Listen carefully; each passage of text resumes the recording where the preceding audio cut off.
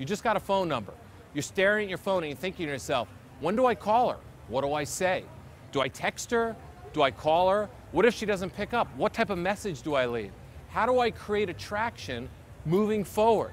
So many guys don't understand this, and it's the most crucial part of dating. Great that you got a phone number, congratulations. But the majority of guys, I'd say 75% of them, don't get the call back or don't get the text back because they don't know what to do. I've got a great new product. It's Guy's Guide to Texting. And what it does is it teaches you how to text women, how to create intrigue, how to turn them on, how to, you know, get them a little hot for you, how to get that date, and how to leave a message so they call you back. Do you know why most women flake? It's because you don't know how to play the text game. Texting and phoning is such a big part of dating. You guys deserve to have great sex if that's what you want. You guys deserve to have a great relationship if that's what you want. But more importantly, you deserve to have a great date and get to know her. And you want her to remember you.